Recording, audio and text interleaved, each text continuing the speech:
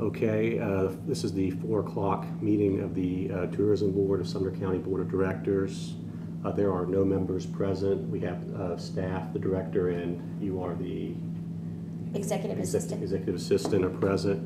Um, Since no members are present, we are going to um, go ahead and cancel this meeting.